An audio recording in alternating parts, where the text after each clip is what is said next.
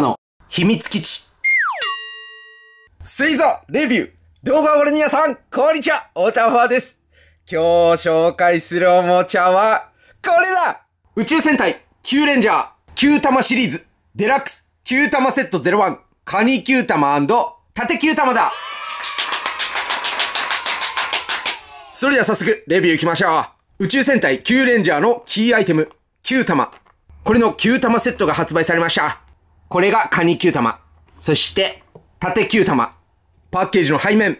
このキュータマには回すライドというギミックがあって、この玉の部分を回すと、エンブレムが変わるギミックがあります。デラックスセイザブラスターにセットすると対応音声が鳴って、デラックスキュウレンオーにセットすると隠されたマークが見えます。タテキュータマも同様のギミックがあります。いや、本当にこれ、いくつ発売されるんだろう。それでは早速、パッケージの中を開けます。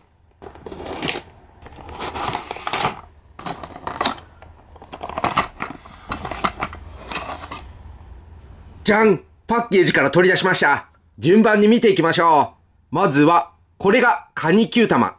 ナンバーは21。絵柄はこのようになっています。これはまだ回スライドしていないです。色は僕が見た感じ、これ赤系というかピンクですね。これに色味が近いのが和紙球玉ですね。後で比較します。裏側のデザイン。絵柄はこのようになっています。それでは、回スライド。じゃんこのように、カニの絵柄が出てきました。この回スライド本当に面白いですよね。みんなは第1話見ましたか？これ9玉、こう片手でこうピッてやってましたね。今ちょっと失敗したけど。こう、パチってこう変わってましたね。できるのかな？ここにクリックがあるんですよね。クリック一回外して、うん、まあ、こういう感じかな。さあ、次これが縦球玉。ナンバーは24。回スライドする前の絵柄はこんな感じ。これは色の系統で言うとブルーですね。あの、望遠鏡球玉とはまたちょっと違ったブルー。背面の絵柄はこんな感じ。さあ、それでは回スライド。おおここに星が見える。ちょっともう一回やろう。これすごいな。回すライド。いきます。こう。おおじゃん後ろにある9玉。これと比較してみましょう。カニ9玉は赤系なんで、獅子9玉、それから和紙9玉。3つを比較するとこんな感じ。色味が違いますね。それから、縦9玉は、狼9玉。望遠鏡球玉。三つを比較すると、こんな感じ。今回の縦球玉は、まあ、少し緑がかっているのかな。うーんと、こういう感じかな。狼、望遠鏡、縦、カメレオン。これ、球玉ゆくゆく発売されたら、こう、色味で、ずーっとこう、グラデーションができそうですね。あの、こういうことですね。赤からだんだんだんだん黄色になっていって、緑になって、青になって、最後は、こう、黒の方に近づくと。離れてみるとこんな感じ。9玉にはナンバーがついているんですけども、例えばこういう色味でこう並べても面白いです。さあ、次は他の玩具との連動遊び。まずはセイザブラスター。これはさっきお見せした通り、セイザーブラスターにはたくさんギミックがあるんですけども、対応しているのが、セットした時、ボイジャーを呼ぶ時の召喚時、それから特殊攻撃。ちなみにこれ変身はできないのかな？ちょっと一回変身もやってみましょう。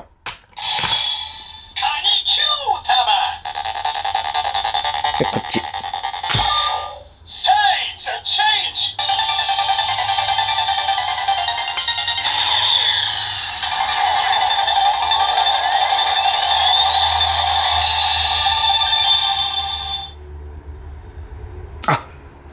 LED は赤。で、他のやつだと、獅子だったら、獅子ってこう言ってましたよね。もし、これで対応してたら、カニとか言うんですけど、ないですね。次は、ボイジャー召喚。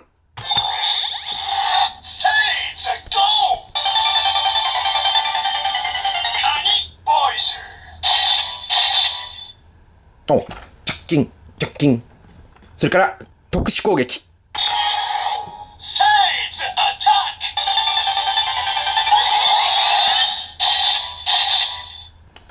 金、貯金っていうのと、カニボイジャーが、このカニ9玉の音声です。次は、縦9玉。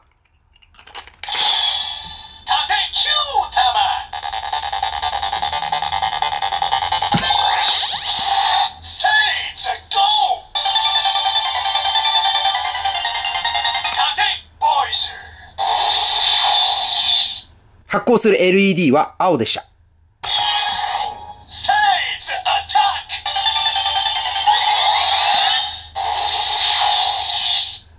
特殊攻撃音。なんだろうな、今の。まあ、こう、盾を出した感じなのかな？ちょっともう一回聞いてみよう。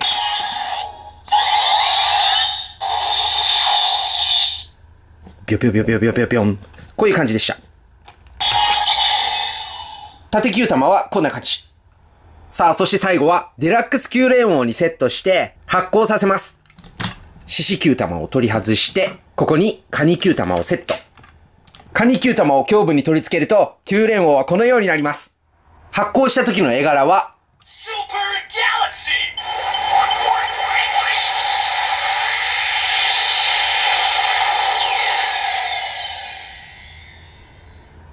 カニ球玉はこんな感じ。次はこのまま縦球玉をここにセット。縦球玉をセットすると9連音はこのようになります。発光させると、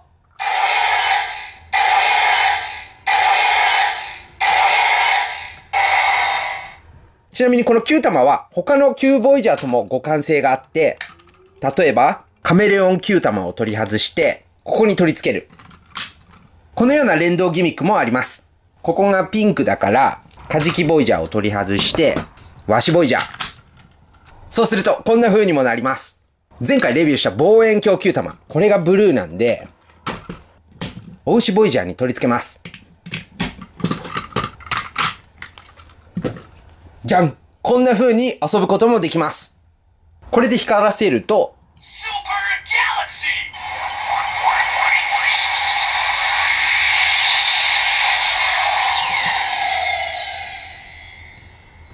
こんな感じになります。これいいですね。なんかかっこよかった。遊び方はこんな感じ。というわけで今回の宇宙戦隊キューレンジャーデラックス9玉セット01カニ9玉と縦9玉のレビューいかがだったでしょうか？基本的にはデラックスキュウレンオーとか、あとは他のキューボイジャーについていたキュータマとギミックは同じです。ただやっぱり今回のこのキュータマ、あのコンプリート欲をすごくそそりますよね。僕は今年本当に集められるんであればもう可能な限りこう集めて、あわよくばコンプリートしたいです。本当にこの9玉がどのぐらいの量発売されるんでしょうかね。他の食玩とかでも販売予定があります。みんなどう？集める予定はありますか？まあ、この9玉、とにかくたくさん発売されるみたいなんで、今後もみんなとね、ここでね、情報交換ができればいいなと思います。今回の動画、面白かったな、楽しかった。おたまのレビューがもっと見たいという方、チャンネル登録や熱い高評価、どうぞよろしくお願いします。それから僕の YouTube のチャンネルを登録しておくと、更新情報が届いて、いち早くレビューを見ることができます。なので、チャンネル登録よろしくお願いします。それから今日のオータファの交換日記。ズバリ、あの、こういうパッケージ、みんなはおもちゃの箱、取っとく派捨てる派これちょっと聞きたいなと思いました。僕はね、今回の、例えばこういうちっちゃいやつは、あの、処分しちゃいますね。まあ、なんだけど、デラックスロボとか、こういうやつは箱で取っときますね。基本、なりきりアイテムは捨てちゃうかな。みんなはパッケージどうしてるか、もしよかったらぜひコメントで教えてください。それから、今回の9玉セットのことや、他のおもちゃのこと。この動画を投稿した今日、まさに9レンジャーの1話があったんで、劇中の感想など、どんなことでも結構です。みんなからのコメント、待ってます。それでは、次の動画でお会いいたしましょう。おたまでした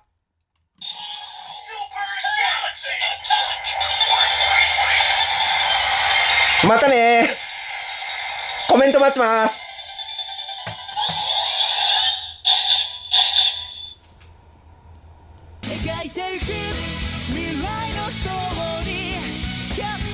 の上筆を